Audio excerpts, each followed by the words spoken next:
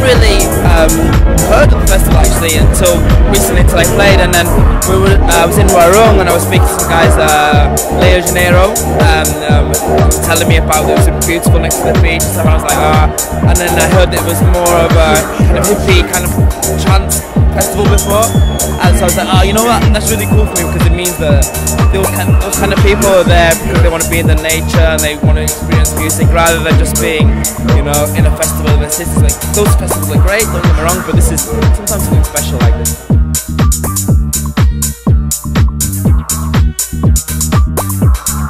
Yeah, definitely. I mean, it, it was, it's interesting to kind of gauge what to play when I come to um, countries that I don't know so well. I only come to Brazil once maximum first year, so to know sometimes what to play in different areas, how educated the crowd is and stuff, sometimes it's a bit difficult, but um, you know, for me, I always try throwing some bass that's like interesting but dirty, you know, and that's what kind of worked here again, still, you know.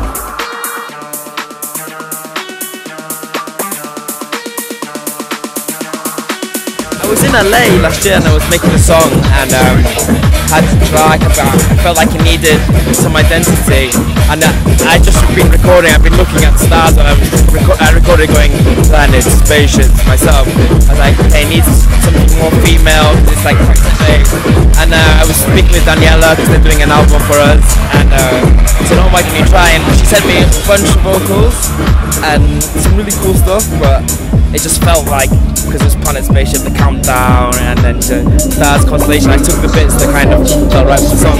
Cinco, quatro, três, dois, ten.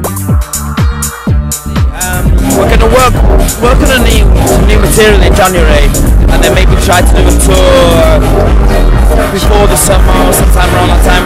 It's just really difficult because everyone is, you know, I'm here, Lee Foster's here, Infinity guys are there, Ali's doing an album.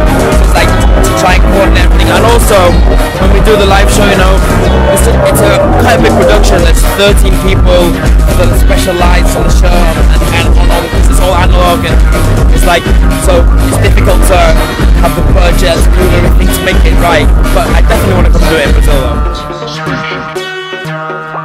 working with people, I don't ever try to, we don't ever try to control the situation, you know.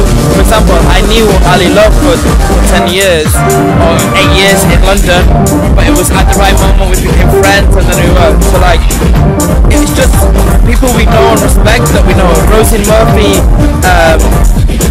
Seppi who works with uh, Lucas T uh, together and they make a, a project together so and Róisín Murphy is the, uh, the girlfriend of this guy so we had a connection.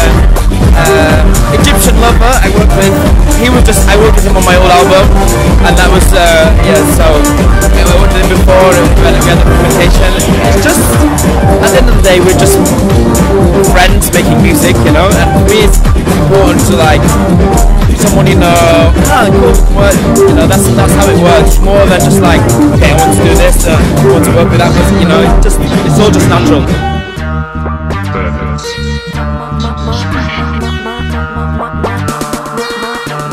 Patrick Topping has some really cool new stuff that he's just sent me. Uh, he's an artist on creation, but like, what? It's really difficult for me to say the names because my favourite records are on vinyl and they're just like not so much information. But there's a, a really cool record by Gene Hunt. It's on a vinyl only album. I'm playing a disco record. Great.